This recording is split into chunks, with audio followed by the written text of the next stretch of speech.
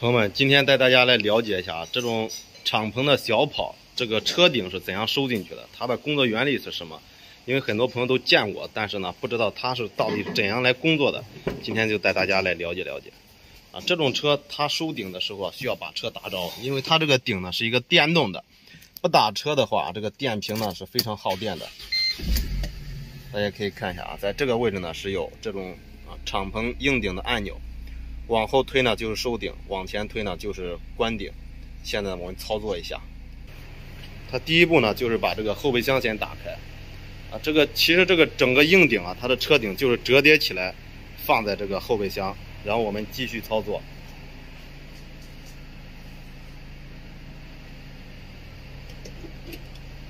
大家可以看一下啊，这个上面这一层顶现在开始往后来，往后这个收啊，收到这一步大家。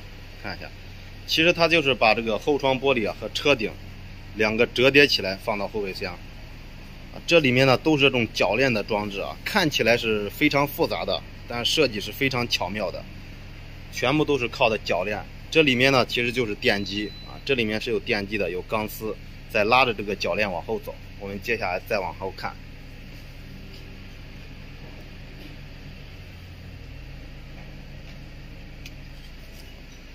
到这一步，大家可以看一下啊，咱们已经能看到这个车顶呢，已经完全放到后备箱。接下来这个就是这个车顶放平以后啊，后备箱盖开始关闭。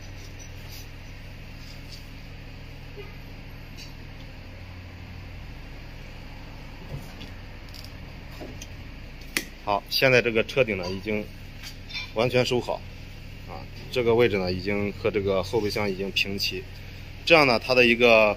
收顶动作就完成，大家可以看一下，其实它这个前挡玻璃上面呢，其实是有锁住的啊，一边一个的锁住。咱们关顶的时候，这个锁住直接锁住车顶。但这种硬顶跑车时间久，这个地方呢是非常容易响的，啊，因为它会有磨损，有间隙它就会发出异响，跑起来咔嗒咔嗒响。啊，这就是一个硬顶敞篷的一个工作原理，其实非常简单啊。现在我们收一下，大家看一下。相反的步骤，先打开后备箱盖，然后这个车顶开始往上升。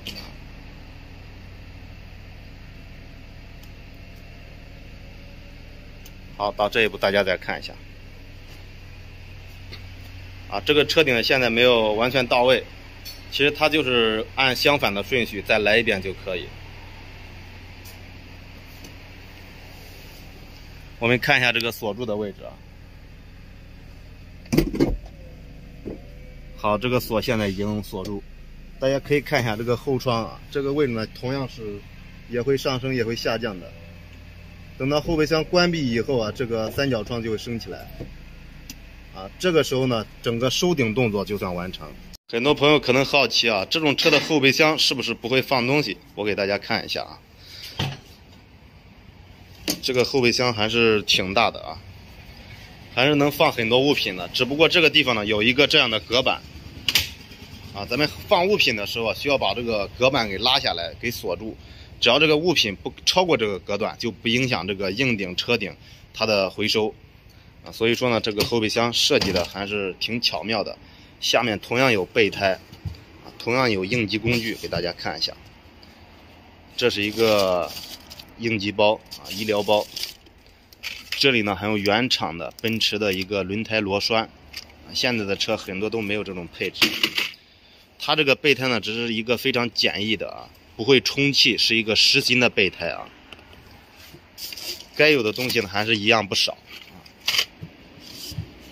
这个后备箱整体看起来还是比较大的。这是一辆零七年的奔驰 S L K 两百啊，这个车当年落地也要七十多万。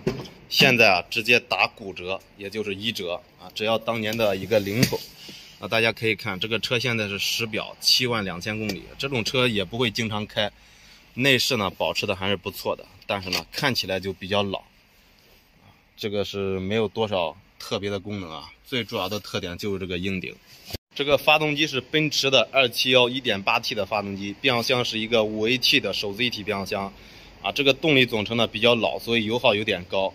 大家觉得这辆车几万块钱买回去以后搞婚庆租赁怎么样？我觉得还是有市场的。这个车呢是已经改过色的，原车是一个黑色的，我给大家看一下，从这个位置能看，啊，这就是它原车的颜色，啊，这是它的一个出厂名牌，大家可以看一下，零七年十二月出厂，啊，发动机功率呢只有一百二十千瓦，德国原装进口，不来梅工厂制造，车呢成色还是不错的。但这种车呢没有市场，我觉得咱们很多普通人呢不可能买个这个车回去开，啊，只能坐两个人，空间太小，但是外观确实是很拉风啊。